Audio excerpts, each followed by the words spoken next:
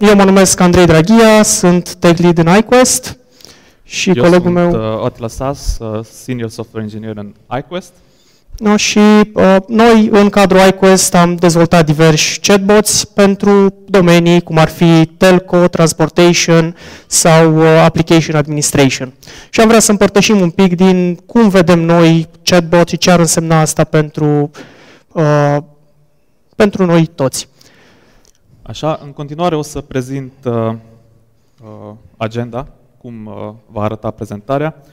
Uh, prima dată, în general, o să vorbim despre ce este un chatbot, după care uh, vom încerca să intrăm în uh, perspectiva uh, unui utilizator, unui uh, business și, în, uh, în final, uh, în perspectiva unui uh, programator, ce înseamnă să construiești un chatbot. Uh, și la final uh, încercăm să vă prezentăm și un, uh, un caz concret uh, implementat de noi. Și cam asta este uh, programul. Uh, așa. Uh, în prima parte, hai să vedem câteva noțiuni de bază. Uh, prima întrebare este ce este un chatbot? Uh, Păi, uh, chatboții sau roboții de chat sunt softuri automatizate sau semi-automatizate uh, care au scopul de a interacționa cu clienții. Uh, în principal, uh, boții sunt meniți să satisfacă uh, uh, scenarii relativ simple și repetitive sau, după caz, mai complexe și uh, dependente de context, uh, într-un ritm mult mai, uh, mult mai rapid decât ar putea face un om. Uh, cum funcționează aceste uh, chatbot-uri uh, sau chatbots? Uh, aceste chatbots se bazează pe uh, uh NLP-uri sau uh, Natural Language Processing uh, pentru a procesa și transforma uh, cererea unui uh, utilizator uh, și a transforma în, uh, în in, uh, instrucțiuni uh, din care să obțin, uh, din care să uh, deducem acțiuni cu uh, niște parametri din, uh, din conversație care să fie executați mai departe. Uh, există două tipuri de, de chatbot, uh, cele bazate pe uh, inteligența artificială. Uh, acestea depind de context, de sentimentele, de uh, emoțiile utilizatorului și, în general, uh, învață din interacțiunile uh, anterioare. Respectiv, sunt, uh, uh, există chatbots bazate pe reguli care uh, sunt mai structurați și fac exact la ce sunt programați. Așa, în continuare o să prezentăm cam ce task-uri poate să satisfacă un chatbot. De exemplu, poate trimite alerte sau notificări. În acest exemplu, Uh, un, un, un utilizator primește notificare despre faptul că a fost uh, asignat la un grup, uh, poate executa acțiuni.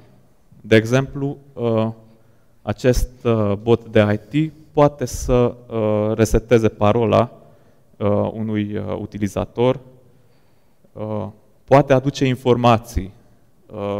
De exemplu, am nevoie de date și să fie corelate și trimise mai departe într-un uh, format uh, convenabil. Acest bot uh, face acest lucru. Uh, poate răspunde la întrebări punctuale. De exemplu, uh, dacă vreau să aflu cele mai apropiate sucursale de bănci relativ la uh, un cod poștal, uh, acest bot îmi răspunde în câteva secunde. Ah, și ar mai fi și asta. Ah, ok. Încă un exemplu. Uh, uh, chatboții se pot uh, programa și uh, uh, pentru executarea unui dialog uh, bazând pe logica unui business. Uh, aici uh, putem observa că dialogul începe cu o prezentare, cu, uh, uh, cu un salut de la, de la botul respectiv, după care uh, listează opțiuni Uh, prin care utilizatorul are controlul uh, asupra dialogului și cum poate să uh, interacționeze cu acest chatbot uh, al companiei. Bun, ca să înțelegem un pic mai bine ce aduce nou, ce schimbă, ce rezolvă chestia asta numită chatbot, propun să-l analizăm un pic din trei perspective, le-am auzit și mai devreme, cea a end userului, a businessului și a developerului, să vedem win-win-win-ul pentru fiecare din ei. No, prima oară, hai să vedem what's in it for me. Uh, prima mare schimbare pe care o văd eu, la, uh, pe care o aduce chatbot-ul, mi se pare la capitolul interacțiune. Uh, să ne gândim pentru un moment cum interacționăm în prezent cu majoritatea interfețelor grafice pe care le avem la dispoziție. Uh, păi, folosim touch, da? Atingeri, diverse tipuri de atingeri, sau mouse-ul, da? și mai pe scurt, dacă ar fi un pic chestia asta să o abstractizăm așa, de fapt arătăm cu degetul către ce vrem. Da? Și avem acolo o imagine, o ceva, o poză a unui buton și noi arătăm cu degetul, într-o formă digitală, de fapt. No, tipul ăsta de interacțiune funcționează de minune atâta timp cât ai către ce să arăți cu degetul. No, și există departamente întregi în companii, departamente de UI UX, care încearcă să facă astfel încât să ai mereu acolo ce trebuie ca să poți să arăți cu degetul către chestia aia. No, uh, totuși, mă lovesc destul de des de site-uri unde partea asta nu funcționează așa de bine și are limitări la tipul ăsta de interacțiune. Și atunci chatboții încearcă să evolueze un pic interacțiunea uh, către conversație. Da? Un tool, în opinia mea, care e mult mai complex decât simplu arătat cu deget. O îți permite, într-un timp mult mai scurt, să trimiți mai multă informație, cum ar fi uh, intenții, sentimente, uh, context, urgență, da? toate astea printr-o simplă propoziție. Tot legat de interacțiune, am un exemplu, uh, creez un tichet. Da? Vreau să creez un tichet într-un tool oarecare, un incident. Uh, și am făcut o mică analiză cam ce ar însemna asta. Păi să facem login, ar lua cam 3 click, da? dau pe login, scriu uh, user și parolă și mai dau un click să merg mai departe, durează cam 10 secunde, zice, după aia uh, să selectăm un incident, încă vreo 5 secunde, să scriem o descriere, dacă avem acolo copy-paste, iarăși vreo 5 secunde, să facem paste-ul ăla. Um, după aia să selectăm un nivel de urgență dintr-un drop-down, da, iar vreo 2, 2 click și la final uh, vreau să creez incidentul și să confirm. Deci, per total, așa, undeva 40 de secunde și 11 click-uri ne-ar lua să facem toată operația asta. No, acum imaginați-vă același lucru printr-o conversație fi ceva de genul ServiceNow, creează un tichet legat de mi-am uitat parola, uh, urgent. Mi-ar răspunde cum te putem contacta, să obțină și informația aia, zice 072 și atât, uh, el mi răspunde Dan. No, deci cam asta ar fi. Uh, toată interacțiunea asta ar merge mult mai rapid, în opinia mea, decât printr-o interfață. Deci avem și un boost de viteză. Bun. Uh, un alt avantaj pe care îl văd este faptul că unifică uh, interfețele. Da? Uh, e între chatbots diversi, interfața arată cam la fel. Ca să înțelegem mai bine la ce mă refer, hai să luăm un exemplu. Interfața de la Eclipse. Da? Poate sunteți familiar cu acest tool și să presupunem că am fi familiar cu ea, că am învățat toate shortcut-urile din aplicația asta, că știm pe unde se află butoanele. No. Și acum de mâine trebuie să treceți la un nou tool, la IntelliJ IDEA. Da? Ambele sunt ideuri fac același lucru la bază, dar interfața e totuși destul de diferită. Și atunci trebuie să învățăm din nou unde sunt toate butoanele, care sunt shortcut și așa mai departe. Uh, no, deci ce ziceam mai devreme că trebuie să avem mereu în fața noastră către ce arăta chestia aia, că trebuie să știm unde sunt butoanele ca să putem să dăm click pe ele. Bun. De aici o concluzionez că interfețele actuale au o complexitate ereditară, a zice, no, pe care o putem minimiza Uh, prin tehnici de design mai noi, putem să facem să fie mai ușor, să avem mai la îndemână toate cele, să ajungem mai ușor la ele, dar nu putem scăpăm de ea. Și dacă ne uităm acum la interfețele de la chatbots, uh, ele arată uh, toate ori ca o convorbire de, prin mesaje, ori ca un dialog verbal. No, ambele lucruri sunt cunoscute, nu trebuie să depunem ceva efort în plus ca să, să învățăm să le folosim, și de asemenea, interfața fiind unitară, ne e simplu să trecem de la un chatbot la altul. Bun, bineînțeles, și la chatbots, uh, dificultățile unei conversații devin aplicabile. Și în funcție de cât de bine sunt dezvoltați sau antrenați, pot fi rigizi. Da? Se vede exemple de astfel de rigiditate. Da?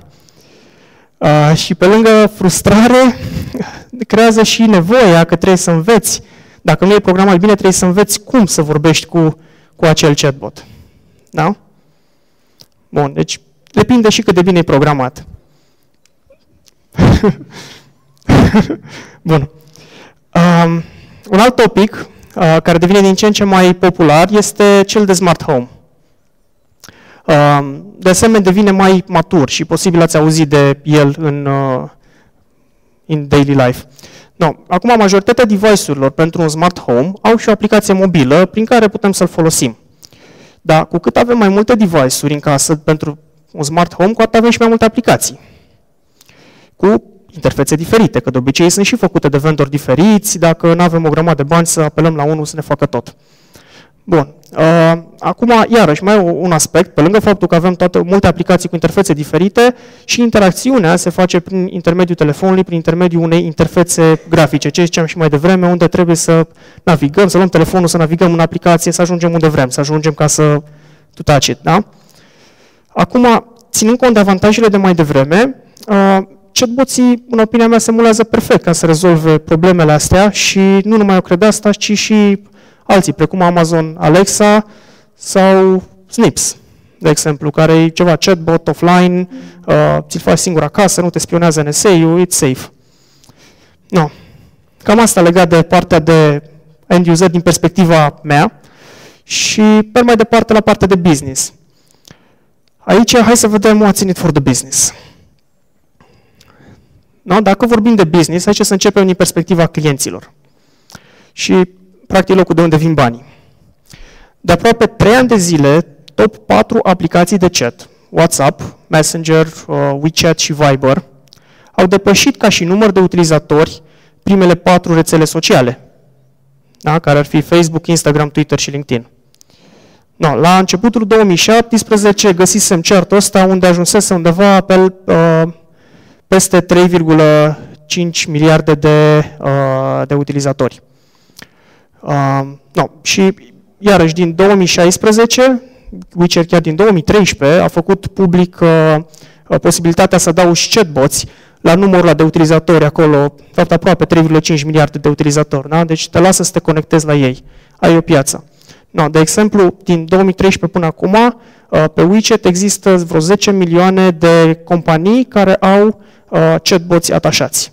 La WeChat e chestia de prin China. Poate ați auzit de ea. Uh, de asemenea, pe Facebook, în primele 3 luni de când, scuze, în primele 6 luni de când au deschis, au avut 30.000 de chatbots puși pe market. No, deci acolo, clar, e o piață mare de customeri pe care, de care poți profita. Acum, încă, încă ceva, după ce am discutat de piață, aș vrea să ating încă un subiect care afectează businessurile actuale. Complexitatea. Da? Uh, hai să vedem un pic ce zicea uh, Bill McDermott, CEO de la SAP despre complexitate, că e o epidemie uh, care se împrăște de pe proporții, afectează viața noastră, munca, uh, chiar și sănătatea și la final afectează și profitabilitatea unei firme.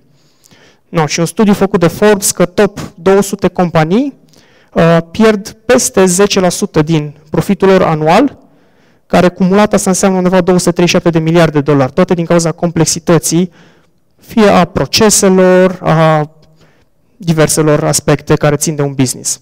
No, toate astea, iarăși, le poți simplifica prin business, prin, prin chatbots. Da? Poți folosi chatbots și există deja din ce în ce mai multe astfel de aplicații care simplifică procesele companiei, simplifică uh, felul în care clienții uh, ajung la o companie, uh, da? deci partea de brand, uh, de, de conectare între customer și brand.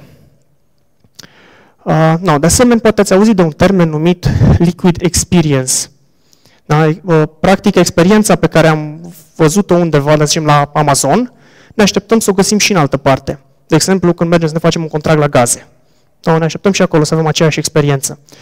Acum, bineînțeles că în funcție de dimensiunea firmei, asta e mai mult sau mai puțin posibil. Aici, cumva, chatbot-ul vine în suportul firmelor mai mici, pentru că te te ajută să, uh, să ajungi la o, la o experiență, oferă o experiență clienților similară cu cea a businessurilor mari, da? o availability 24-7, un customer support relativ mai bun, uh, responsuri pe social media, prezență pe social media, da? toate lucrurile care definesc un brand sau care ajută în a avea un brand mai bun. No. Uh, deci, practic, toate, toate chestiile astea puse cap la cap uh, dau posibilitatea și business mai mici să concureze cu cele mai mari din perspectiva experienței. No, de asemenea, costul pentru un chatbot este uh, semnificativ mai mic, automat mai accesibil și pentru businessurile uh, mai mici. No, acum las pe colegul meu Otis să vă vorbească de partea de developer. Da, am văzut, uh, am văzut din perspectiva unui end user și din perspectiva unui business ce beneficii aduce un chatbot, dar haideți să vedem uh, un programator ce zice sau cum vede uh, acest uh, task de a construi un chatbot. Uh, uh, acești chatbots au devenit uh, uh, foarte uh, populari și asta a adus uh, uh, ap, uh, apariția mai multor platforme pe care se pot uh, construi mai ușor uh, această funcționalitate. Uh, urmează să prezint uh, câteva platforme mari uh, pe care uh, e foarte ușor să uh, uh, dezvoltăm uh, acești chatbots. Uh, primul este IBM Watson uh, Conversation, care uh, este cea mai populară platformă. Reiese dintr-un studiu uh, de la Chatbot Journal că este folosită de 61% din afaceri uh, și are capabilități integrate de procesare a limbajului natural și cunoaște mai multe limbi, de exemplu engleza sau japoneza. Uh, această platformă vine cu un uh, asistent, se numește Watson Virtual, Virtual Assistant și acest asistent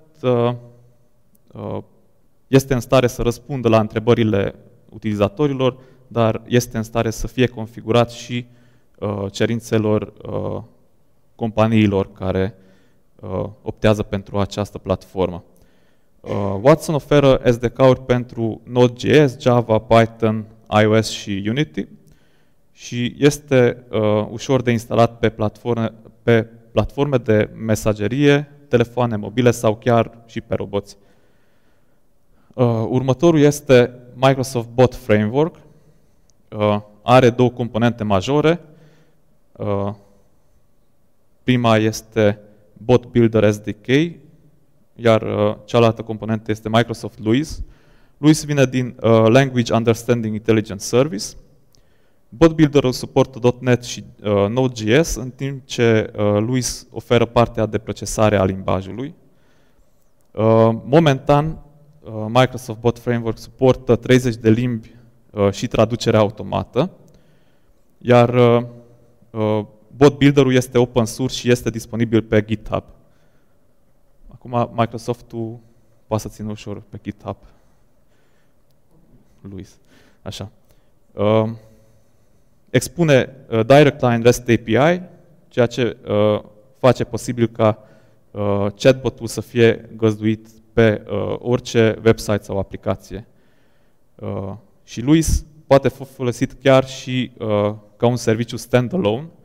Uh, oferă SDK-urile pentru uh, C Sharp, Python, Node.js și Android. Următoarea platformă este Dialogflow. Uh, este platforma API AI, uh, cumpărată și redenumită de Google în 2016. Uh, Dialogflow introduce noțiunea de intent, care reprezintă maparea între cerința utilizatorului și uh, acțiunea care trebuie executată.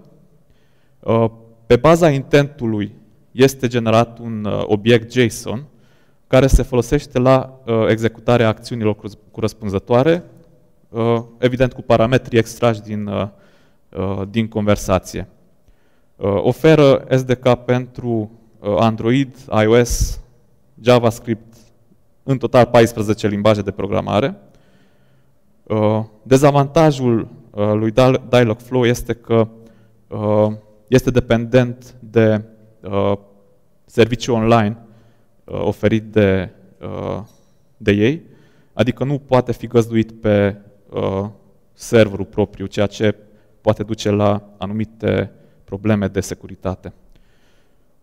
Uh, mai departe, uh, Amazon Lex este uh, tehnologia N, uh, NLP pe care se bazează Amazon Alexa. Alături de Lex, uh, Amazon oferă și Poly, care este un convertor text-voce, uh, și Recognition, un sistem de uh, recunoaștere de imagini. Uh, Lex folosește AVS Lambda pentru uh, procesarea uh, cerințelor utilizatorului uh, și Cognito pentru autentificare. Uh, cu ajutorul lui Lambda, practic, ne putem integra cu orice sistem, uh, ceea ce face acest uh, chatbot destul de flexibil și destul de util. Este posibilă dezvoltarea pe iOS, Android, Java, JavaScript și așa mai departe. Lex, Amazon Lex are un model pay as you use, adică plătești cât folosești. Aici un exemplu, 1000 de cereri vocale costă 4 dolari, iar 1000 de cereri text costă uh, 75 de cenți. Nu știu, e scump, e, nu e scump. Uh, mai este ManyChat, care uh, este cea mai populară platformă non-code, ceea ce înseamnă că nu e nevoie să, uh, să cunoști, uh, să, să scrii cod sau să fii programator ca să uh, Uh, poți programa un, uh, un bot pe uh, Facebook Messenger. Uh, iarăși, ManyChat, la fel, uh, uh, costă 10 uh, dolari pe lună dacă depășești 1000 de abonați. Dar avantajul este că uh, se integrează și se configurează foarte ușor cu uh, Facebook Messenger, ceea ce este uh, uh, des folosit. Uh, așa, un, după cum am zis, uh, un chatbot este uh, eficient dacă se integrează cu mai, mai multe canale și preferabil canalele des folosite de utilizatori, după cum am zis, Facebook Messenger sau Skype, Slack și așa mai departe. E mult mai ușor și natural să folosești aceste tooluri ca să comunici cu un chatbot este, par, este ca și cum ai, ai uh, interacționa cu un om. Uh, deci nu, nu trebuie să înveți uh, uh, o interfață specială, cum a zis și Andrei. Uh, care sunt însă provocările care apar pentru un programator care dorește să implementeze uh, un chatbot? Uh, deci, în general, programatorii sunt cei care și testează uh, uh, produsul final, ceea ce duce la, uh, la lipsa de flexibilitate a botului. Adică eu mă gândesc într-un fel și uh, mă exprim într-un fel, dar asta nu înseamnă că fiecare utilizator vine și uh, se exprimă cu acele, cu, cu exact aceleași cuvinte cu care m-am exprimat, uh, mă exprim eu. Uh, Asta, evident, duce la probleme. Uh, trebuie avut în vedere uh, uh, acest lucru, uh, adică uh, trebuie pus accent pe uh, vocabularul folosit. Uh, alți factori care pun în dificultate un chatbot sunt uh, gramatica și dialectul. Uh, deși a evoluat foarte mult uh, această parte a tehnologiei. Uh, încă sunt uh, probleme și dificultăți uh, în, a, înț a înțelege ce, uh, ce dorește un user. Uh, mai este o problemă aici. Uh, în uh, funcție de cât de complexă este cererea, este recomandat să uh, să spargem cumva conversația, adică e un exemplu, uh, vreau să rezerv o masă în, restaurant, în restaurantul X pentru o persoană de la 4. aici observăm că sunt o grămadă de parametri. Și atunci uh, este dificil pentru un chatbot care, uh, ca să decidă ce parametru unde vine și să nu facă invers, să nu facă de la 8 pentru 4 persoane. Și atunci este, este recomandat să, uh, să spargem din acest uh, flow și mai întâi, de exemplu, să, să întrebe acel bot, ok, vrei să rezervă masă pentru câte persoane? Și atunci știe sigur răspunsul care vine va, se va referi la numărul de persoane. Cam asta am vrut să uh, arătăm din punctul de vedere al unui programator. Și acum uh, o să încercăm să prezentăm un, uh, un caz concret. Este vorba despre un scenariu de reîncărcare de cartelă într-un, uh, într-o soluție uh, telco unde poți să-ți faci management la subscripțiile tale, ceva gen mai Vodafone, puteți să vă gândiți. Aici noi am adus un, uh, un dispozitiv de la Amazon. Acum nu, nu vreau să pronunț numele pentru că se trezește. Uh, și dorim să, să încărcăm contul cu, de exemplu, 3 uh, euro. Acum balanța este de 13,2 euro și dacă totul merge ok, o să avem 16,2. Ok. Putem după să încercăm și cu alte valori, să vedeți că nu e hardcodat. Da. Uh, Alexa, load iQuestBot. Hello, my name is iQuestBot. How can I help you? I want to recharge my account. Can you tell me the name of the person or the phone number? My Nokia subscription. What is the value you want to recharge in euro? 3 euros. Please confirm that you want to recharge my Nokia with a 3 euros amount. I confirm.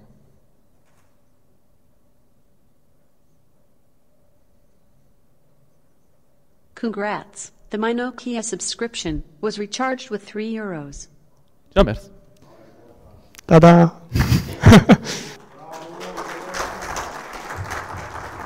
Mulțumim. Nu. Întrebări? Uh, da, o să avem și o sesiune interactivă uh, după asta, unde în principiu o să ne jucăm cu Alexa, putem să stăm diverse alte chestii pe ea. If you get my drift. No. Um, și o să vedem un pic și din punct de vedere programare, mai hands-on, de exemplu pe Dialogflow, API AI. No. Altă întrebare?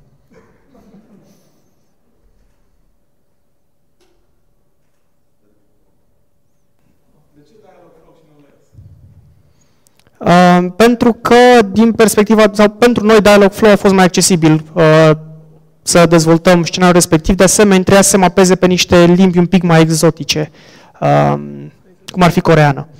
Și atunci, pe Dialogflow, uh, care e backed up by Google, partea aia merge un pic mai bine în anumite situații.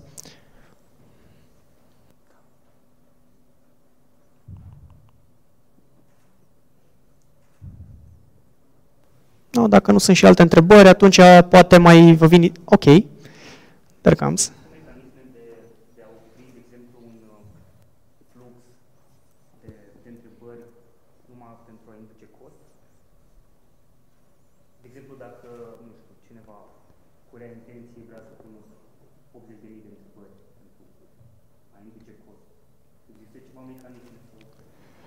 Um, da, în general, deci uh, aceste flow-uri se pot gândi în, uh, în așa fel încât să, uh, să, nu, să nu lași utilizatorul să, să aibă prea multă libertate. Adică să controlezi flow. Pui întrebări, aștepți răspunsuri. Dacă poți să validezi răspunsul și dacă vezi că a, a, a pus o altă întrebare sau nu are legătură cu acel flow, atunci poți să întrerup flow. Da, se, se taxează când începe o discuție sau la fiecare mesaj primit, de exemplu? Care, care e practica? Păi cred că ajunge la un threshold. Uh, nu pot să răspund acum la... Nu, concret la această întrebare, dar putem să ne uităm după, după prezentare. De, de exemplu, pentru uh, Dialogflow, acolo știu concret, uh, se taxează pentru interacțiune. Deci, uh, când ajunge și la server și răspunde și serverul respectiv. Și atunci poți să faci, pentru API AI strict, poți să faci throttling acolo. Pentru Alexa, de exemplu, nu știu exact. Bun, nu s-a trezit. Ok. Uh, deci nu știu exact acolo uh, cum, cum funcționează.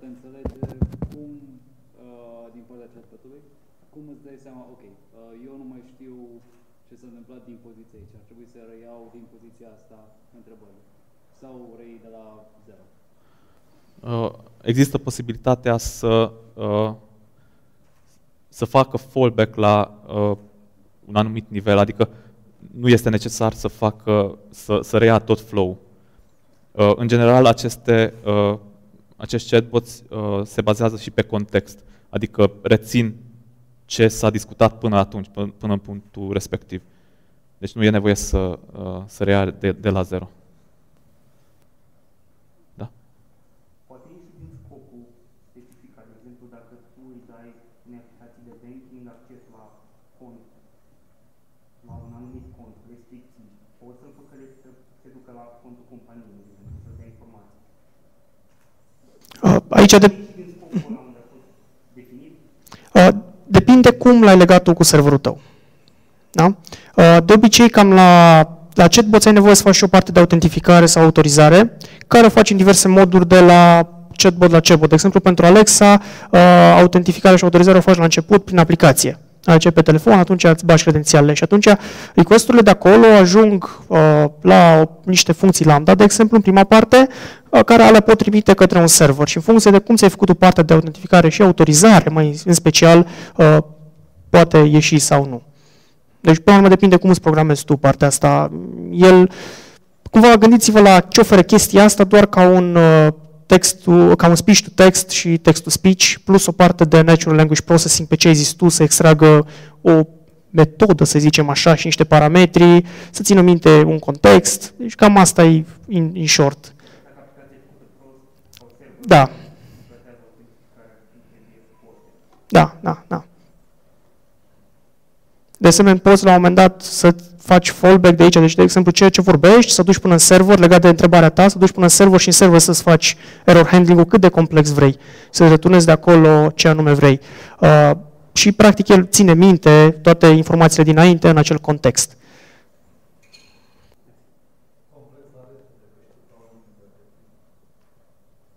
Uh, poftim?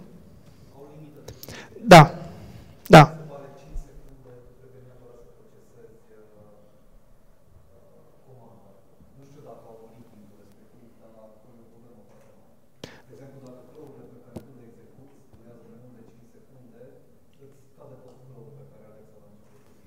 Exact, pentru că e esențial pentru un chatbot să fie fluent și să-ți dea mereu un răspuns, să nu facă hang acolo dacă ceva nu e implementat bine. Și atunci ai niște limite de timp, de la platformă la platformă limita asta diferă. De exemplu, la API parcă e 3 secunde dacă nu mă înșel, la Alexa 5, nu. No. Aici o soluție ar, ar putea fi să pornești asincron acel proces. Să pornești procesul și să zici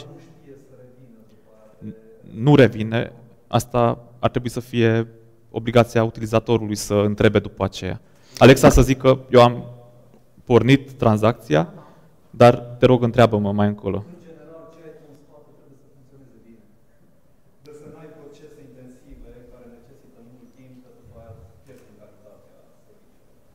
Oricum, tema pe care ai deschis-o e foarte bună și propun să o luăm mai departe în zona de interactive session și uh, sunt și câteva tehnici pentru chestia asta și putem să discutăm atunci mai pe larg un pic.